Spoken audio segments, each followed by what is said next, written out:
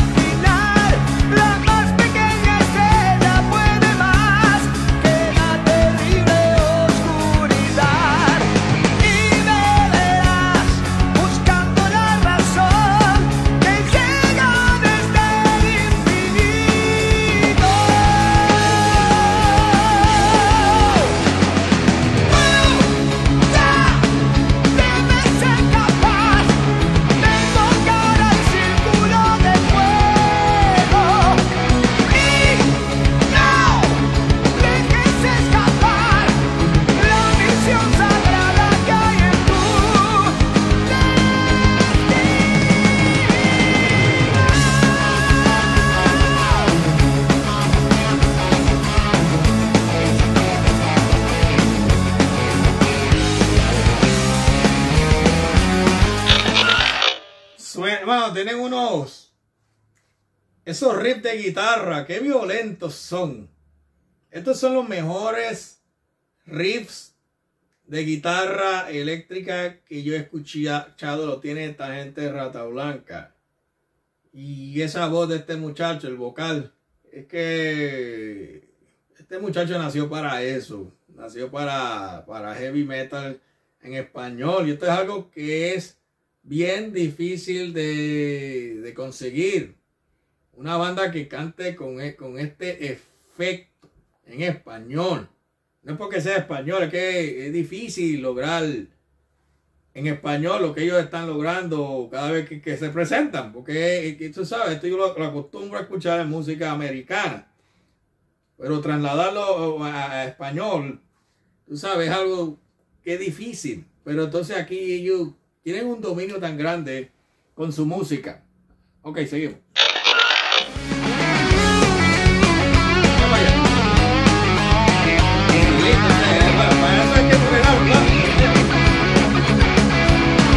Practicar fuerte.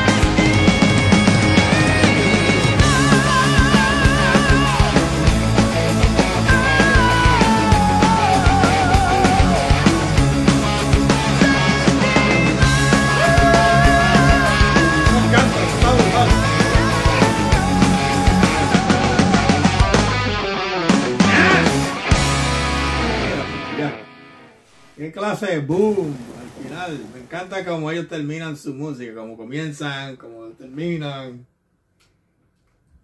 Y anda, el círculo de fuego. Ok, pues me dijeron que, que analice esta, esta, esta, esta canción, este video musical lo más posible. Que no lo haga como el papagayo, que, que analice. Ok, ok. Ok, así va a ser. Mira, a la vez que estaba escuchando, por eso me veían serio. Muchas veces, me- a veces me iba con la música, pero entonces trataba de captar lo más posible en la letra. Esto, el círculo de fuego. O sea, cuando estamos hablando del círculo de fuego, no sé si nos estamos refiriendo a lo, que es este cierto tipo de religión. No sé, pero yo sé que en la religión Wiccan, la religión Wiccan, yo sé que usan un círculo de fuego. Ah, ah, Usan un círculo de fuego, ¿verdad? Usan eso. Entonces, como símbolo de. Como símbolo de, protección, como, como, como sí- símbolo de cierto tipo de, de manera que ellos usan. Yo sé que la religión Wicca usa eso. Usa como una daga, hace así. Entonces uno está en ese círculo. Entiendo que creo que pudiera hacer eso. Pero también es como, es, como, habla, él habla cuando estaba cantando, dice como que la luna estaba. La luna estaba en todo su esplendor. Tú estás ahí.